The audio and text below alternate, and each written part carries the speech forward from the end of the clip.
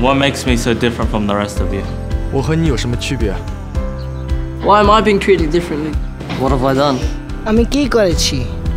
That's Bengali by the way. What is it about the way I act that makes you treat me so differently?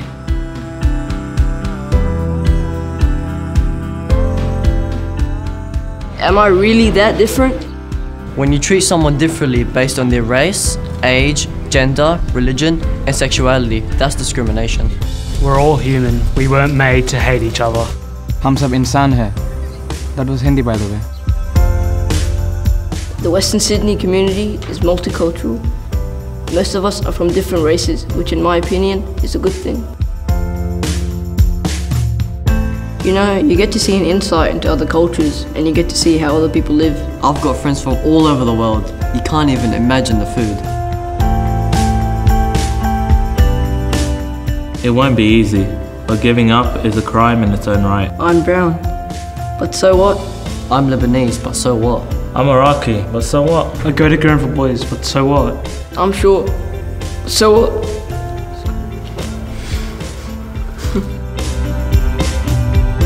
The opposite of discrimination is Being included. Peace. That's very cringy. Like Compassion.